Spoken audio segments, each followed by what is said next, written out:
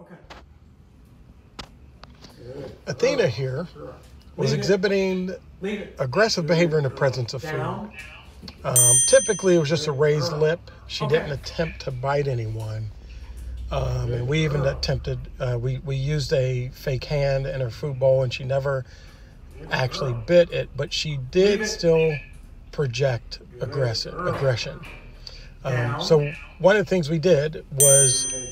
Teach her the leave it command in the presence of food, but then presenting another food Okay. source. What this does is makes the dog not feel the need to guard, to resource guard the singular food source. Expect instead to expect that there is an additional food source coming along.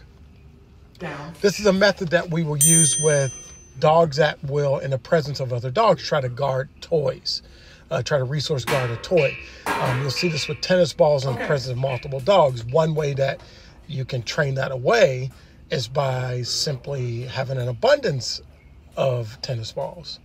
And then it, the ability to guard that singular one, it loses its value as something that needs to be guarded.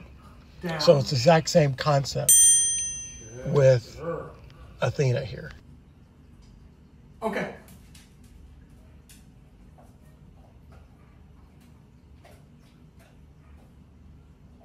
Good girl, good girl.